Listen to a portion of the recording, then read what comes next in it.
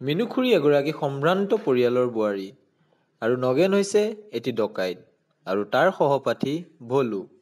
ইতিমধ্যে মিনুখুৰীয়ে jewellery শ্বপত chain বনাবলৈ গৈছে আৰু নগেনে মিনুখুৰী ঘূৰি অহালৈ বাট চাই আছে।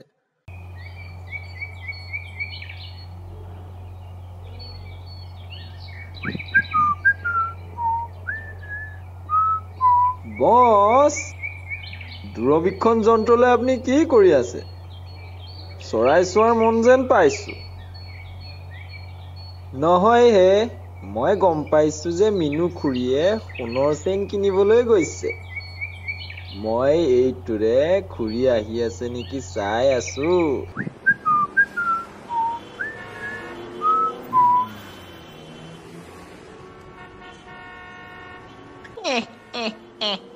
হু, মই বুদ্ধি এটা পাইছো।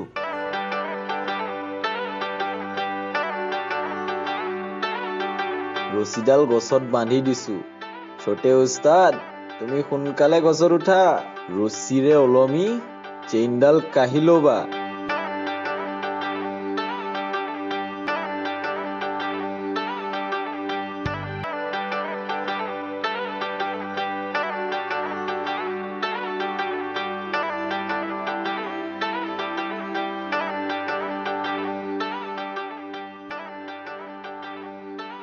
মোৰ ওলমিবৰ হ'ল।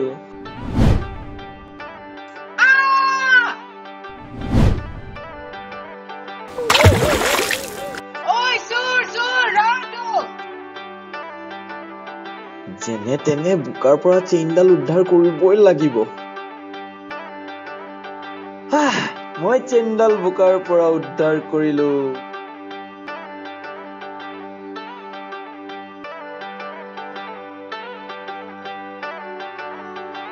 ৰক্ষা আচল চেইনডাল মই বেগত থৈছিলো বুলিকেহে নহলে মোৰ আজি চেইনডাল চুৰি হৈ গলহেঁতেন এ কি? এইডাল নকলহে। মিনুখুৰী আমাক ভাল ঠগিলে। আজি এই কাহিনীটোৰ পৰা আমি এইটোৱে শিক্ষা পালো যে মূল্যৱান বস্তু লগত থাকিলে সদায় সতৰ্ক থকা উচিত।